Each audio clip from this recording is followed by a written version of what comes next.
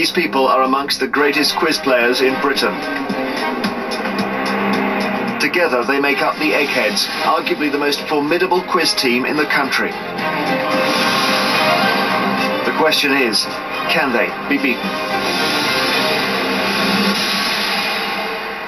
Welcome to Eggheads, the show where a team of five quiz challengers pit their wits against possibly the greatest quiz team in Britain. They are the Eggheads, and hoping to beat the might of the Eggheads today are the Cross Inn Quizzers. Now, this team of friends quiz every Thursday at the Penrhiwgaled Arms, which is situated in the Welsh village of Cross Inn. Let's meet them. Hi, I'm Denise. I'm 66 and I'm a retired teacher.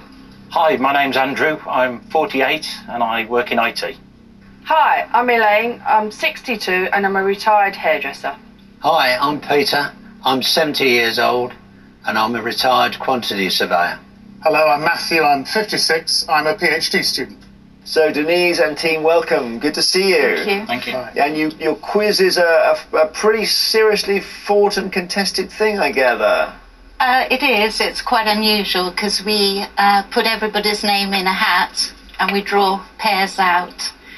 And we take it in turns to be quizmaster as well. So there's a lot of heckling. We're just a great big group of friends. And quizzing is just a very British thing, isn't it? People seem to love it. Very much now, yes. It's it's grown since Criss Cross Quiz. Why, kids, why are we such quizzers in this country, do you think? Judith, why do you think we're such quizzers? I don't know. I don't know. Maybe we're competitive or something. Yeah, well, there speaks our million pound woman, of course. yeah. So good luck to you in this Thank quiz. Every day there is a thousand pounds worth of cash up for grabs for our challengers. However, if they fail to defeat the eggheads, the prize money rolls over to the next show. So, cross inn quizzes. The challengers won the last game, which at least proves it can be done, and it means a thousand pounds says you can't beat the eggheads today. Would you like to try? We mm-hmm. would. I thought so. The first head-to-head battle is on the subject of film and television. Now, who would like this? Who's going to Who do do we have Did there? we I think decide? it was going to be Elaine, wasn't it? I think so, yeah. Yeah. You're right with that, Elaine. Elaine? Yeah. Okay, film and TV. Against which egghead? Any one of them? All looking pretty keen today, unusually. Judith. Oh, Chris. Are we not saving Judith for sport? Chris. I think Judith would rather not do sport. Chris. Chris. Chris. Right, we're, we'd like Chris, please. Oh dear, I heard a conversation there, Judith, which... What did they say? Nothing, nothing. Was it rude? No, no, it was related to strategy at any future round that we will Oh. not discuss. oh, right. I see. It's not going to be you in this round, it's going to be Chris. Yes. Hmm. Film and TV against Elaine. So, Elaine from Cross Inn Quizzes, Chris from the Eggheads. Please, to ensure there's no conferring, take your positions in our question room. Elaine, I gather you're a retired hairdresser who used to do show jumping. I did lonely local uh, jumping um, a riding club, and I've been retired now about six or seven years. Do you miss the hairdressing? No, no, So we're on film and TV. Oh, Uh, yes. And uh, Elaine, would you like to go first or second? I'll go first, please. Here we are. In which 1970s TV show would the police often be seen driving a Ford Granada? Is that the Sweeney, Starsky and Hutch, or Hawaii 5 Um, I don't think it was a Hawaii Five O, and I'm sure it's not Starsky and Hutch. I think it's the Sweeney. The Sweeney is the right answer. Off the block. Swe- the Starsky and Hutch, their car was famous, but I it was a Cortina. Ford Torino, Torino, wasn't it? Oh, if it was a Ford as well. Yeah, Ford Torino. Ford Torino. Yeah. As in the Clint Eastwood. Um, What's that movie with Grand Grand Gran Torino. Okay, Chris. Which of these is a 2014 film starring Aaron Eckhart and Bill Nighy? Is it I Frankenstein, You Dracula, or We Werewolf? Well, we werewolf would be grammatically incorrect. It would be we werewolves. I can't see why they'd call a film You Dracula, so it's got to be I Frankenstein. I Frankenstein is correct. They may get harder. Let's see. Elaine, Alex Murphy is the human name of which screen character? Wolverine, Iron Man, or Robocop? Well, I'm not sure on this one. Um, I don't think it's Iron Man, which I'm I'm guessing on all of these. Um, I'm sure it's not Wolverine. I, I, I go for RoboCop. Yeah, Robocop is the right answer. Come on. There, the cross inn quizzes are happy with that. Okay, Chris. Chris Cross. In Friends, who played Pete Becker, the extremely rich suitor of Monica? Is it Paul Rudd, Jon Favreau, or Tom Selleck? Now, I never ever watched Friends. First two names don't mean anything, but I know Tom Selleck was in a few episodes of Friends, so I have to say Tom Selleck. He was, was he? Mm. Anyone, any Friends experts here? Not an expert, but I would have gone. Because Paul Rudd was the one with Lisa uh, Kudrow, Phoebe's character. And I thought Tom Selleck's was uh, Richard. So, based on the question, I'd have gone Jon Favreau. But that, that's, that would be my answer. Yeah, Jon Favreau is the right answer though, Chris. So Never heard of. You are now looking vulnerable to being knocked out. If you get this one right, Elaine, you're in the final round. In the TV comedy series, what is the name of Mr. Bean's girlfriend? Is she Irma Gobb, Alma Trapp, or Vera Mugg? Oh, this is another one I don't know. Um, I'll go for Alma Trapp. Irma Gobb is the right answer. I'm afraid. Oh. got two out of three. Chris needs this one to pull himself back into it. The playwright Kwame Kwei-Armah found fame playing Finley Newton in which BBC drama? Chris, was it Tutti Frutti, Casualty, or Howard's Way? Well, he's obviously an African character, and there weren't any African characters in Howard's Way, which is about shipbuilding in the Solent. Uh, Tutti Frutti was a Glasgow-based thing about a, a failing rock band. So he would have played, I think, a senior doctor or consultant in Casualty. I don't know about the part, but it was Casualty. You're right, Chris. Well Yeah. done. So that's two points each to you after three questions. Sorry you couldn't knock him out quite as simply as you wanted to, Elaine. We go to sudden death now, okay? Gets a bit harder. I don't give you alternatives. In which 2000 film does George Clooney play an escaped prisoner named Ulysses Everett McGill? Oh, something there, aren't you? Ah. oh. Well, but there you are. There, aren't you? I can't. I'm sorry. I can't get it. Mm, team? No. No? Go on. Oh, brother, where? Oh, brother, where art thou? You were Nearly close. You were getting there, Elaine. I'm sorry. I had, we had the time to, to wait for you to get there, but not to be. Sudden death, Chris. Your question for the round. Which 1971 film features a naked Michael Caine holding a shotgun? Oh, that is the absolute classic. Get Carter. Get Carter is the right answer. Well done, Chris. You've taken the round on Sunday. And some very sporting applause on this side. Elaine, you've been knocked out. I'm sorry, but it's early days. Plenty of time for your team to come back. Please return to us here. Now, I mentioned the playwright Kwame Kwei-Armah, and he was in Casualty. A se- was it senior doctor, you said, Chris? or- Senior doctor. I, I sort of visualise this senior doctor consultant type. Was he a, a male nurse or whatever? I think he was a paramedic. Paramedic. I think so. But what's interesting about him is he was he was christened Mm. Ian Roberts, born Ian Roberts in the UK. Discovered his or looked into his background in Ghana. Yeah. Went over there, decided to to, to Mhm. use his African name Uh-huh. or had taken African name from his his uh, forebears. Mhm. Isn't that interesting? So, as it stands, the cross-inn quizzers have lost a brain, but no panic. There's no panic yet, is there? No, not yet. Not yet. we can have a panic later. Plenty of time. the next subject is science. Who would like science? Oh, Andrew's our science Andrew. expert. Okay. That's me, Jeremy. Andrew against which egghead obviously can't be Chris. Tremendous knowledge, Who Dave, you want to Denise. go? You want to go for Dave? We'll go for Dave. Okay, so Andrew from the Cross Inn Quizzes versus Tremendous Knowledge Dave on science from the eggheads. Please, both of you, go to our question room now. So, Andrew, you were chosen as the science man Yes. because you you work in science in some way. Um, I've got a technical background, and I suppose it's a, an area that's been of interest to me. Science, Andrew, first or second? I'll go first, please, Jeremy. Here's your first question. Alterations in global weather patterns are commonly referred to by what name? Is it element shift, climate change, or atmosphere flux? It's not atmosphere flux, and I don't think it's element shift, so I'll go for climate change, Jeremy. It is climate change, Andrew. Well done. All right, we're on science. So, Dave, your question. What do female bumblebees possess that males or drones do not? Wings, antennae, or a sting? I think it's a sting. Sting is the right answer.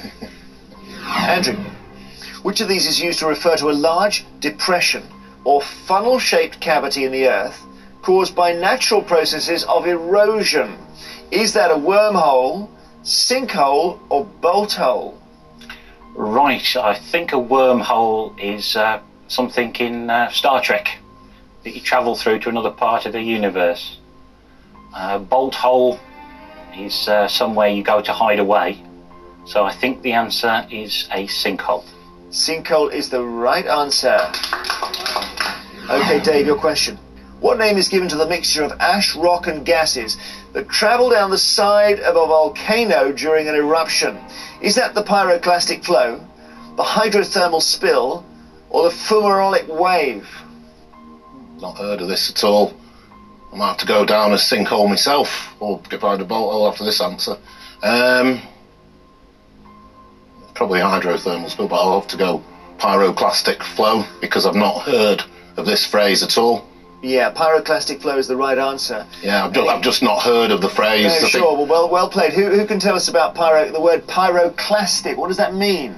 Something with fire and Well, pyro must be fire, mustn't clastic is hmm. breaking, isn't it? Hmm, yeah. Yeah. yeah. So that, that's it. That's essentially. all- that's because all it, because it's a it's a mixture of all the different elements that go into a volcanic eruption, all flowing down the side. All right, two points each.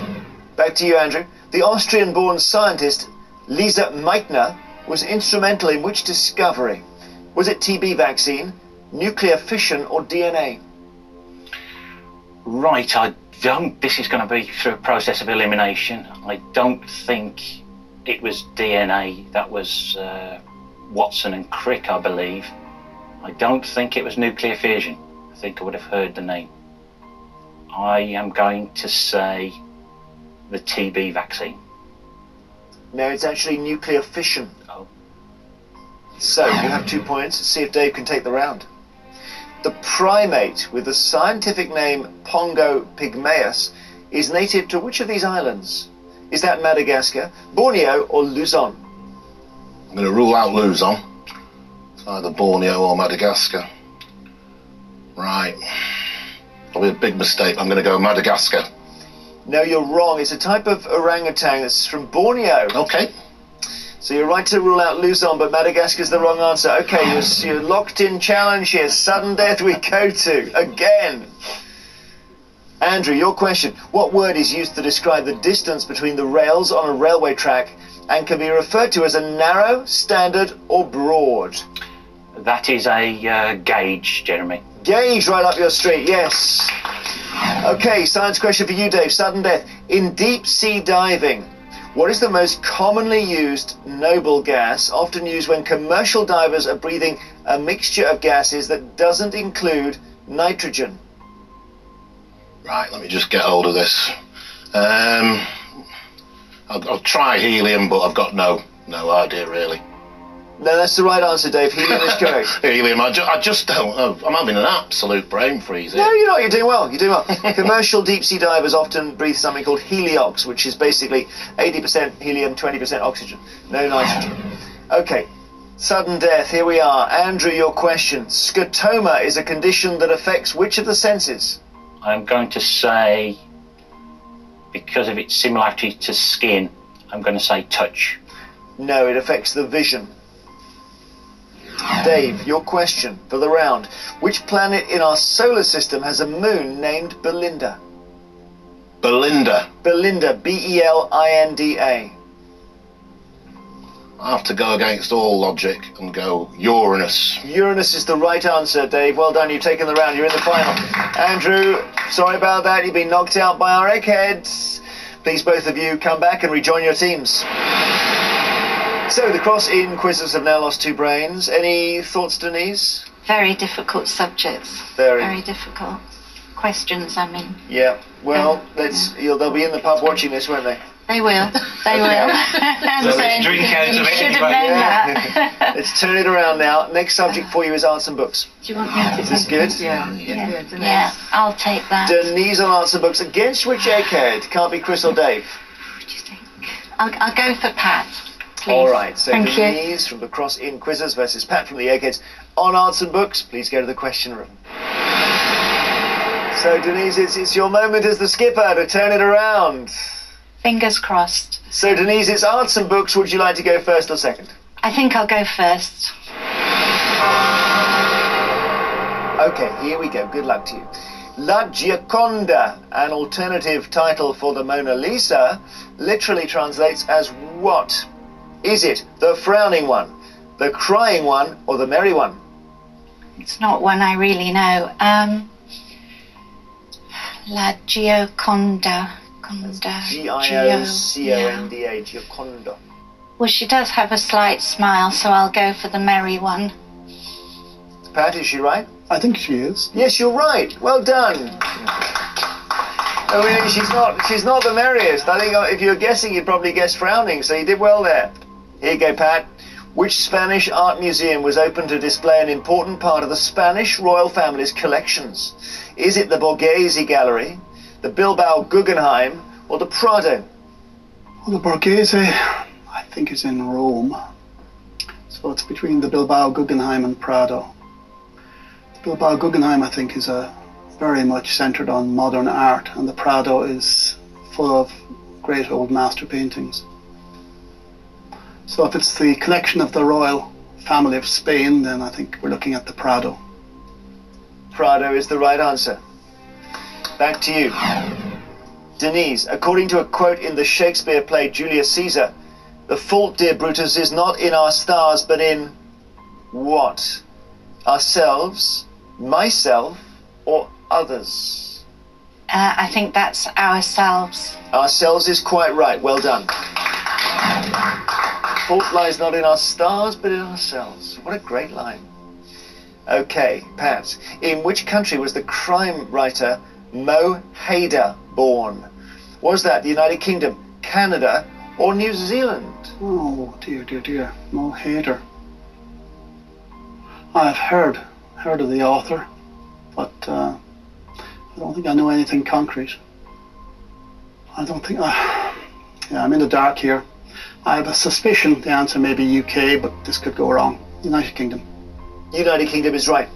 So you got two each. Denise, back to you for your third question. Try and get this right, put some pressure on him. Which author created the fictional detectives Charlie Peace and Perry Trethowan? Is that Robert Barnard, Val McDermott, or Reginald Hill? I have no idea. Um, I've never heard of any of those authors either. Um, well, it's got to be an absolute guess. Trethowan sounds West Country, but that doesn't have any bearing on the names of the authors anyway. Um, I'll go Reginald Hill. Any eggheads know this? No, but I'd, I'd have. I didn't think it was either Val McDermott or Reginald Hill, so I'd have gone Robert Barnard. But Robert Barnard is the answer. Ah. So Pat has a chance to take the round. Pat, your question. The Hawk in the Rain, published in 1957, was which writer's first book of poetry? Is it Stephen Spender, Marianne Moore, or Ted Hughes? I think this collection focused on nature and the outdoors. And they were central concerns of Ted Hughes. Ted Hughes is correct. It's his poetry and it's your round, Pat. Well done, you're in the final. Denise, sorry, you've been knocked out. Thank you. Both of you rejoin your teams. We'll see what happens next. So, tricky times for the cross-inn quizzers because you've now lost three brains from the final round. The Eggheads haven't lost any. Bear in mind, they lost the last game though, so they, they've got a know lot to that. prove here. the next subject, the next subject is politics for you. So, who wants oh. this? Oh, that's joy. Yeah. That's going to I'll- be no, I'll Pete. have to. No, I'll have to. Peter? Yeah. Yeah, I'll have to do that. And against which egghead, Peter? Oh, do you. Yeah. Um, Judith, Judith. please. Okay, so it is Peter versus Judith from the Eggheads on politics. Please go to the question room now. Okay, both, we are on politics. And Judith, we've been looking at your scores on politics. Rather Oh, well- good. Oh dear. No, you've just done it now. No, I haven't done it yet. It would. Do you want to know? No, no, I really don't, because it always you always jinx it. No, no, no. Always. l- Let me just Toujours. just just say, which is that out of the last 27 politics rounds, you've won 25. So you're virtually unbeatable. I can't imagine you losing. No, Clark, oh, Peter, do you want to Go go first? Kevin. Can we go to Kevin? Do you want to go first or second? I can't imagine her losing either, but uh, I'll go second just for a change. Here's your first question, Judith. Norman Tebbit was a member of Parliament for which political party? Is that Conservative, Liberal Democrat, or Labour? Well, I think he was a conservative. Conservative is right. Well done on that, Judith. Brilliant. Nobody knew knew that. Okay, Peter. In 2013, it was announced that from October 2014, UK drivers will no longer have to display what on their vehicles? Tax disc, number plates, or brake lights? I think that's tax disc. Tax disc is right. Well done, Peter. They're clapping you here. Judith, your second question. Who chaired the Royal Commission examining reform of the House of Lords in 1999? Was that Lord Hutton, Lord Wakeham, or Lord Leveson? Oh, well, now, who was it? Hutton is Iraq, isn't he? Um, Leveson was um, uh, the press, or hacking, phone hacking, all that kind of stuff. So it must be Lord Wakeham. It is Lord Wakeham. Well done. Back to you, Peter. Your second question. In 2013, which politician was referred to as boring snoring in a Twitter error by the editor of the TV program Newsnight? Is that Harriet Harman, Rachel Reeves, or Theresa May? Boring snoring. Not sure that sort of applies to any of them, really. Um, I'll go with Rachel Reeves on the count that I- I've never heard of her before. well, you're right as well. It was Rachel Reeves. Interesting little in-house incident, that. Okay, Judith. What was the approximate turnout of UK voters in the 2010 general election? Was it 65%, 55%, or 45%? Um, it's going down all the time, isn't it? Um, I, I think it's 55%. It's the obvious one, but it's the wrong one. It's actually higher. It's higher. 65, yeah. I'm amazed. I thought it was going down. I think I think 2010 was a particularly big election. Oh, All right, Peter, you have a chance to take the round. Hun Sen first became Prime Minister of which Asian country in 1985? Was it Laos, Vietnam, or Cambodia? And Hun Sen is two words H U N and then S E N. Uh, not one I've ever heard of. Uh, obviously, 1985 is fair time. I think I'll go with Cambodia. If you've got this right, you've taken the round and knocked Judith out. Very unlikely you'll beat her because she's almost flawless in politics. Hardly lost any, Judith, have you? not until now, because you jinxed it. Do you know the answer? no, I don't. It's Cambodia. You are a rotter, I am Jeremy. so You, sorry. I you did- always do it. I did. I just didn't know Every that was going to happen. I didn't know. I know, but if you haven't said it, it might I'm so sorry. I, honestly, I will think before I do that again. I will. I will think before I do give you the big build up again. Anyway, well done, Peter. That's the main thing. You're in the final. It's not going to be a lonely operation for our last player here on this side. And if you both return to us, we will play that final round. So this is what we have been playing towards. It is time for the final round, which, as always, is general knowledge. But I'm afraid those of you who lost your head-to-heads won't be allowed to take part in this round. So that is Denise, Andrew, and Elaine from the Cross-Inn Quizzes, and also Judith from the Eggheads. Would you please now leave the studio? Peter and Matthew, you are playing to win the cross-inn quizzes, a thousand pounds. Pat, Dave, Chris, and Kevin, you're playing for something that money cannot buy, the Eggheads' reputation. As usual, I will ask each team three questions in turn. This time the questions are all general knowledge. You can confer. So, Peter and Matthew, the question is, are you able with your two brains to take out these four? And would you like to go first or second? We'll go second, please. Case, so first question to the eggheads in our final. What name is given to the tones broadcast on BBC Radio as an hourly signal? Are they the yelps, the pips, or the squeaks? The pips. I think, they're the pips. Yes. Not the Wilford, Yeah. that's for sure. Yeah, those are the time pips. The pips is right. Over to you, Peter and Matthew. Which of these is a common term describing a business that has recently begun operating? Crank up, pull up, or start up? Start Give me some crank ups, haven't we? Start up, Jeremy. Start up is right. One point each. Back to our eggheads. Which footballer did Manchester United sign for a reported club record of £37.1 million in January 2014? Is that Juan Mata, Kolo Touré, or Samuel Eto'o? One I think I think. I think yeah, possibly one the- matter. Juan Mata. Yes. Yeah. Yeah, signed him, though, John. Yes, Well, yeah, signed him from Chelsea. As, as we've heard from our Old Trafford correspondent here, that's Juan Mata. Dave was not likely to get that wrong. Mata is the answer, Juan Mata. Yes, Dave was not likely to get that wrong. Being a massive Man U fan, Juan Mata is the answer. Over to you.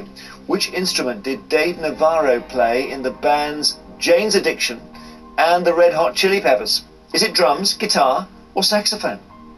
I haven't got the first idea, have you? I haven't, no, but I don't think it'd be a saxophone. No, would that's it? the same with me. I don't, if it's a, is it a heavy metal? Uh, so that's, I'd, I- I'd go with either drums or guitar. Drums, I think, okay. Yeah? Yeah. Yeah, go with that. Uh, we don't know. We sort of ruled out saxophone and we're going to go for drums.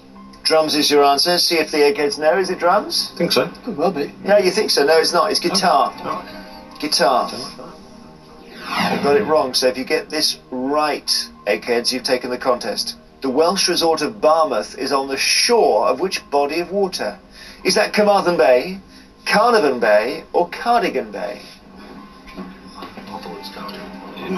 Where's the wood, I think? Yeah. That's true, Yeah, actually. I thought This it was card. Cardigan, because Carmarthen Bay is further south. Yeah. Carnarvon Bay is, is further coast. north. And Barmouth is on the south side of the, the Lleyn Peninsula, isn't it? Yeah. So it should but be. no, it's way down, quite a way down, actually. Yeah, It's actually, quite way it is. That'd be a bit, of bit, bit, bit further of the. Uh, Yeah. yeah. so it's Cardigan Bay. Yeah. Uh, yeah, we believe that's Cardigan Bay. Cardigan Bay is your answer. If you are right, you have taken the contest. The answer is Cardigan Bay. We say congratulations, eggheads. You have won.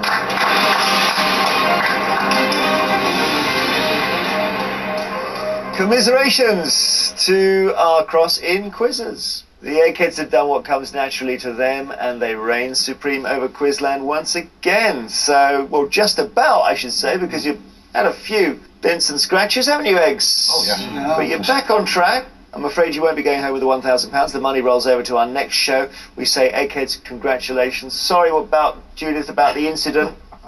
Oh, look at that. Just shakes her head at me. Join us next time. I'll try and make up with her after this show to see if a new team of challengers have the brains to defeat the Eggheads. £2,000 says they don't. Until then, goodbye.